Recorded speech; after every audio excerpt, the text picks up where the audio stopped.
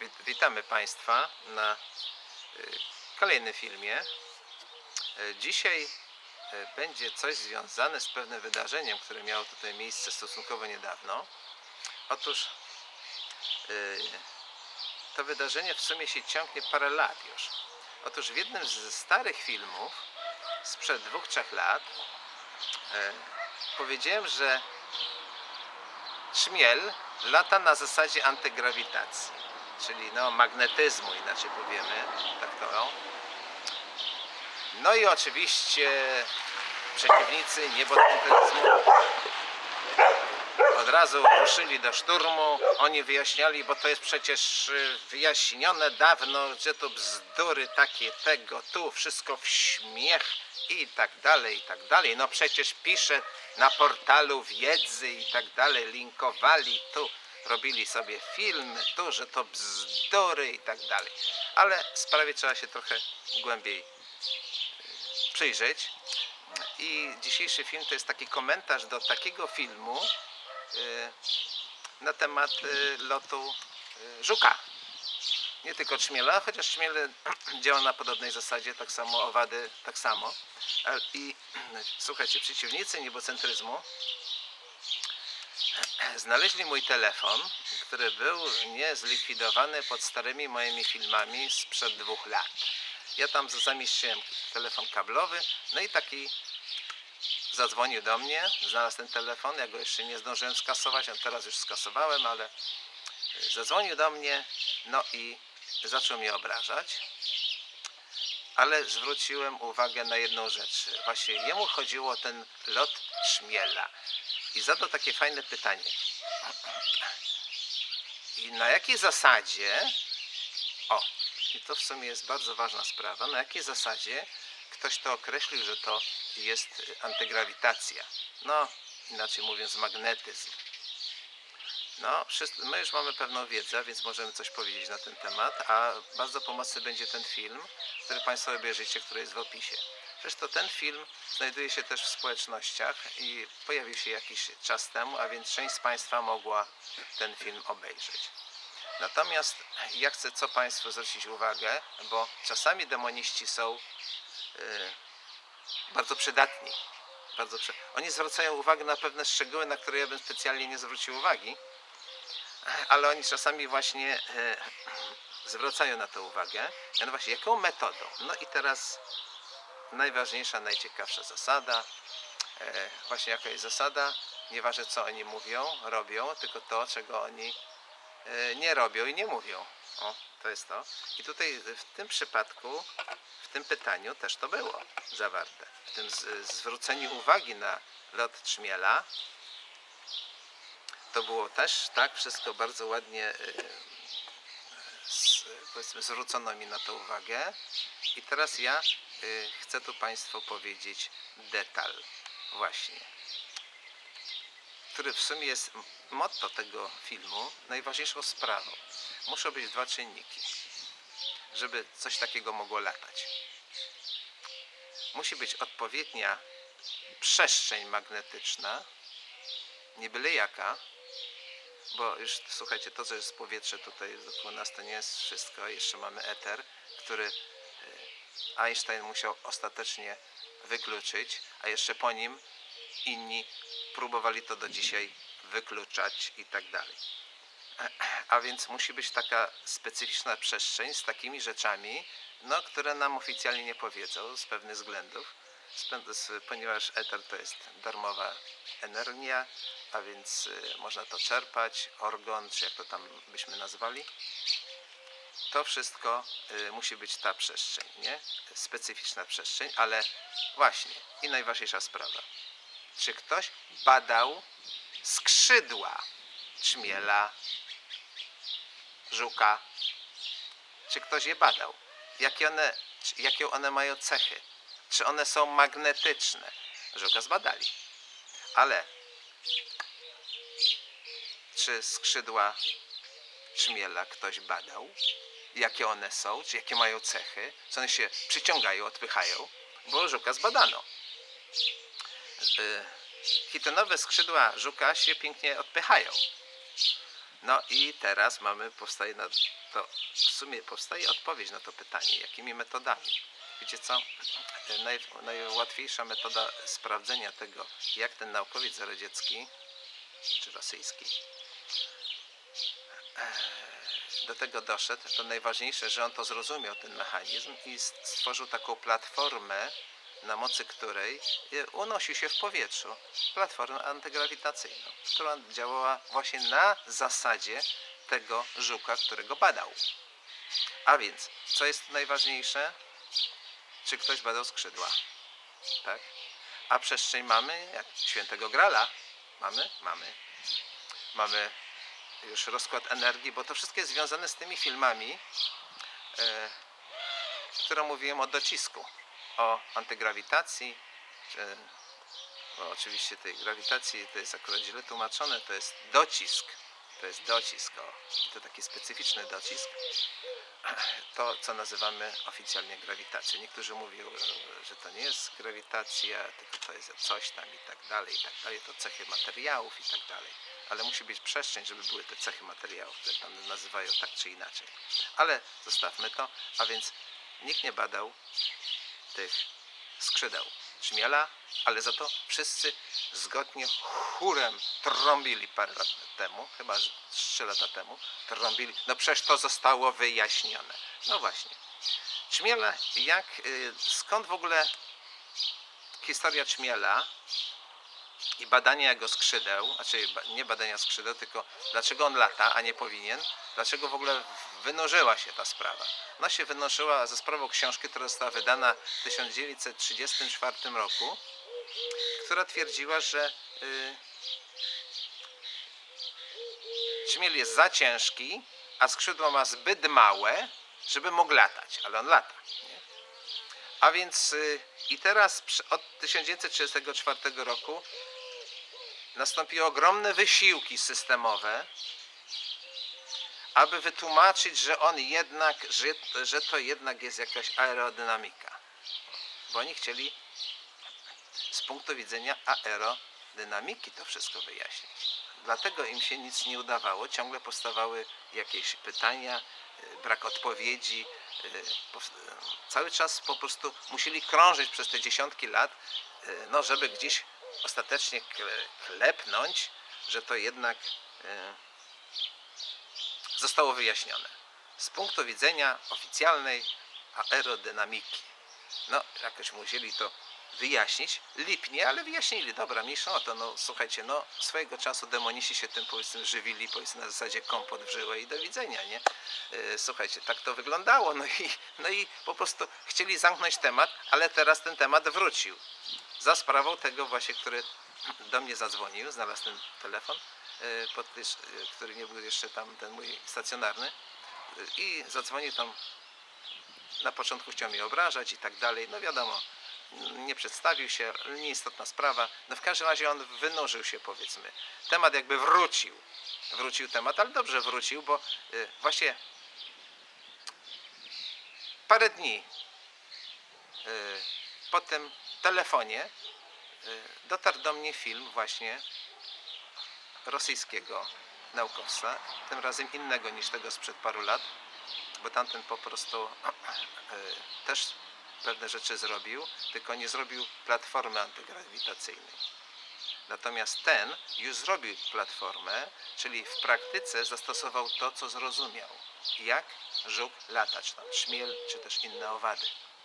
A wszystko jest to związane właśnie z polem Torusa, ze świętym Gralem, no i ze specyficznym e, właśnie cechami tej przestrzeni, którą mamy. No i z cechami skrzydeł, bo skrzydła muszą też mieć e, jakieś cechy magnetyczne, żeby mog, mogły się te owady poruszać, latać. Czyli tu nie działa żadna aerodynamika. Swego czasu na Facebooku wpadł mi w ręce w artykuł, też mi podrzucono, co do lotu że okrwotcy uczeni jakoś y, starali się też wyjaśnić, też mieli problemy, ale stwierdzili, że on jakoś tam robi ten Czmiel jakiś ruch, czyli popatrzmy, to nie było tak dawno. sprawa, to nie jest taka, y, artykuł był świeży i to sprawa nie była y, taka stara, czyli widzimy, że do dzisiaj trwają non-stop spory. Jedna pani naukowiec ze Stanów Zjednoczonych badała temat kilkanaście lat i stwierdziła, że są jakieś wiry, które są mało wyłapywalne, tam co da na kiju, jakoś tam starała to wytłumaczyć, czyli to jest nawet już tutaj w XXI wieku sprawa dalej wałkowana, bo sobie nie mogą z aerodynamiką poradzić. No i sobie nie poradzą, bo to tutaj działa zupełnie, to, to działa magnetyka. O, w ten sposób. I teraz y, sprawa magnetyki pojazdów magnetycznych, tak to nie jest y, żadna nowina, czy tam lot Szmiela, żadna, y, czy ta platforma tego pana, y, to nie jest żadna, powiedział, to nie jest żadna nowina, ponieważ to już było w czasach wojny, II wojny światowej. Nazywało się to Haunebuy Vril u Niemców, oni to produkowali.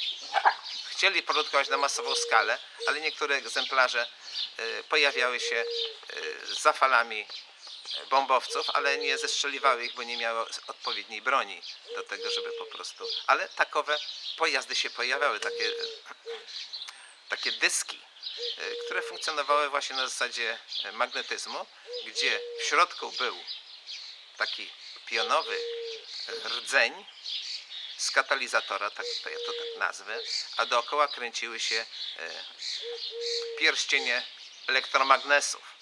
I takie coś latało, pot, potworne były prędkości i tak dalej, i tak dalej, i tak dalej. O, to były potworne prędkości, ale niestety nie do wykorzystania. Broń dopiero pod koniec wojny znaleziono do tego. To były promienie Dornera. Ale to już są dalsze tematy, nieistotne. Ja tutaj wrócę tylko do tego lotu Czmiela, który wynurzył się jak okręt podwodny, nie tam gdzie trzeba, po paru latach, ale dobrze, słuchajcie. Przynajmniej można zrobić komentarz do takiego filmu. To są ciekawe rzeczy i nam to pięknie e, zgrywa się z tymi filmami, które wcześniej robiliśmy na temat docisku, na temat Świętego Grala, co tam mieliśmy, jeszcze inne tam inne filmy e, w tym temacie. Natomiast ja to powiedziałem raz kiedyś, dwa czy trzy lata temu. No i wiadomo, reakcja była odpowiednia. Linkowano zajadle tak zwany portal wiedzy. No i jeszcze mi tłumaczono w tłumacze, no trzeba było trochę poczytać. No tak, czego, co poczytać? Brednie, które z, z, którymi nawet oksfordzcy uczeni męczą się do dzisiaj. No bo nie ta metoda. Nie ta metoda, ale słuchajcie, żeby analizować wszystko z punktu widzenia magnetyki, tak zrobił ten Rosjanin, yy, to trzeba też dobrze wiedzieć yy, właśnie jaką mamy przestrzeń. A to trzeba za- zajadle ukryć. Yy, Trzeba było zajadle użyć. Nie można było czegoś nie wytłumaczyć, a więc trzeba było zrobić odpowiedni nacisk systemowy, propagandowy, że to zostało wytłumaczone. To nie zostało wytłumaczone, do dzisiaj nie jest wytłumaczone, a zostało to wytłumaczone przez e, praktycznie tego Rosjanina, który stworzył praktyczną stronę. Pytano mnie jakimi metodami. Takimi metodami, na mocy której zrobił platformę, na, której, na mocy której on sobie lata z prędkością 25 km na godzinę. No, taki króciutki, malutki, na pół metra kwadratowego pomost, stajesz, słupek, rączka i zobaczycie jak to lata. No i już, i tyle, tyle w temacie praktycznie. Y, Co jeszcze chciałem Państwu tutaj powiedzieć, a więc no sprawy takie wy- wynurzają się. Tu akurat za sprawą telefonu. Słuchajcie, jeżeli komuś coś leży na wątrobie, to możecie napisać to w społecznościach, ja dam linka i tam są komentarze, tam można dać, tam są komentarze i można no i napisać, co komu leży na wątrobie czy że powiedzmy brak komentarzy komuś nie pasuje. E, słuchajcie, zawsze można się wypowiedzieć. Ja tutaj nie, nie blokuję całkowicie. Pod filmami blokuję z wiadomych względów, że nie było dyskusji z demonami i do widzenia. Przecież nie będę dyskutował z demonistami albo z jakąś tam diabelską hołotą, która po prostu e, nie ma czasu, po prostu tylko nie wiedzą jak mnie ugryźć, e, tylko się tam popisują po prostu, albo sie, sieją propagandę czyli to są tak zwana, to jest klasyka e, wszystkich demonistów, całej tej diabelskiej hołoty. Zadać pytanie sugerujące odpowiedź. Albo drugie, napisać zdanie, które sugeruje odpowiedź. To jest żelazna zasada wszystkich demonistów. O, ale tego już nie ma. Skończyło się babci sranie. No i ta, dlatego po prostu, jeżeli można coś napisać, to w społecznościach są komentarze zatwierdzane i nie ma bólu. Także komu się coś nie podoba, to może sobie coś napisać. Nie ma tak, że ktoś, y, że powiedzmy całkowicie nie można się wypowiedzieć. Można się wypowiadać. No i to chciałem Państwu powiedzieć, czyli taka powtórka. Czyli czmiel, ma, czyli mamy kolejne potwierdzenie, że czmiel i inne odwady poruszają się na zasadzie antygrawitacji. Ja już powiem takie sformułowanie to będzie na zasadzie magnetyzmu. Dlatego, że te skrzydła e, są jak magnes, tak? Tak, one są właśnie jak one są magnesami i w odpowiednio magnetycznym y, przestrzeni one będą się poruszać. I to trzeba było, tego trzeba było, mm, to trzeba było w jakiś sposób ukryć i dlatego przez kilkadziesiąt lat bicha się o, to psy. Twardo, psy twardo tutaj, tak, one pilnują tam, bo tam ktoś się coś ruszył. No dobra. No w każdym razie dlatego Słuchajcie, bitwa trwa od 1934 roku, od słynnej książki i bitwa trwa do dzisiaj, ale ona została już zakończona. Ale pytanie, kto się do tego przyzna? Nie przyznadzą się naukowcy, znaczy nie przyznają, no bo oni tam są w kieszeni odpowiednich osób i oni się No i tego nie przyznają. Najprawdopodobniej e, przebadali to i, niektórzy wiedzą. Niektórzy wiedzą. Ja wam powiem y, coś takiego trochę z innej branży, ale to jest mniej więcej ten, ten sam mechanizm. Powiedziałem wam o eterze, nie? Że eter wykluczano i tak dalej. Jeszcze w latach 70. wykluczano tam ogromne wysiłki były ku temu, żeby eter wykluczyć, że nie ma eteru, nie? To jest tak samo jak e, wykluczyć organ, no, ale mniejsza o to. No wykluczali to. No dlaczego? No bo Einsteinowi nie pasował do teorii względności, nie? E, ale dlaczego? mm, I teraz to na co ja natknąłem się, kiedy przypadkowo robiłem film, e, znaczy robiłem film i natknąłem się na jedne wypowiedzi z forum, gdzie ktoś coś znalazł, tylko nie wiedział co, ale ktoś znalazł. To naukowcy, polscy naukowcy, znaleźli coś i na forum zaczęli opisywać. Że oni coś znaleźli, to, to, to i w końcu zaczęli badać to, oni to jest eter. To jest nic innego jak eter. Także część naukowców jest zorientowana, na jakiej zasadzie lata czmiel. Tylko to nie może uży, użyć Nie- światła dziennego. to nie może użyć światła- tutaj pozorację, że oni badają i Że oni badają, chodzi, tak. tak, wszystkie są tego i tak dalej. Mało tego, jeszcze mi tak poruszono w tej rozmowie telefonicznej krótkiej. No, renomowane, tak żeby dał dowody jak renomowanych instytutów. No właśnie, na czym polega e, renoma instytutu? Chyba na tym polega renoma, że ona ma renomę, czyli status renomy tylko dlatego, czyli to się uważa, że to jest renomowane, po to, żeby właśnie pewnych rzeczy nie powiedzieć. O właśnie. Ale, ale dla niektórych to jest właśnie. Widzi, widzimy tutaj, to jest kolejny przykład na to, jaka jest siła autorytetu. Autorytetów, to jest ściana autorytetów. Nie? No tak ma być i do widzenia tak ma być i koniec. No i y, nie wytłumaczą ci tego, będą od 34 roku szukać wiatru w polu i do widzenia. Nie po to niszczyli artefakty, żeby teraz y, y, uznać pewne rzeczy, które, y, które mieli ukryć. Tak, ale, ofic- ale nieoficjalnie z tego korzystają. Słuchajcie, ofi- nieoficjalnie z tego korzystają. Przecież latają różne cuda dysk- talerzowate. Latają. Cygarowate. Cygarowate też. A, to jest taka ciekawostka przy okazji. Słuchajcie, cygarowate to mi nawet pokazywali takie coś. Słuchaj, poczekaj, tu zaraz parę kilometrów od, od tego miejsca obserwacji, gdzie byłem, nie? Mówię, zaraz coś zobaczysz, nie? No i rzeczywiście pojawił się cygaro, takie dupne. E, no i teraz, no jak to lata? No tutaj niektórzy próbowali to wyjaśnić. Jak to może latać? Jak to jest związane z antygrawitacją? Przecież to wszystko zawsze jest dysk, musi być, nie? A tu nagle jest cygaro. To takie dość znaczne. E, Nawet takie cygara opisywano e, w czasach komuny, kiedy MIGI-21 zbliżały się do takiego cygara i e, i jak to lata. Ale takie cygara były, one były bardzo wielkie, bardzo potężnych gabarytów za czasów komuny takie latały. Otóż te dyski leżą jak talerze w zmywarce. O, w ten sposób, pionowo. Jeden obok drugiego i w ten sposób powstaje potworna siła motoryczna, ona psz, znika. O, no i tak samo, myśmy oglądali, oglądaliśmy to. Nagle patrzymy, psz, nie ma, znikło, a ładnie błyszczało się w promieniach słońca. No, także to widzicie, takie rzeczy korzystają, także no, ale A naukowcy robią e, tak zwani e, pseudonaukowcy, e, a robią pozorację, że Pozorację. oni e, tak e, to działa zupełnie na innych, Innych zasadach. zasadach. Tutaj nie ma e, antygrawitacji.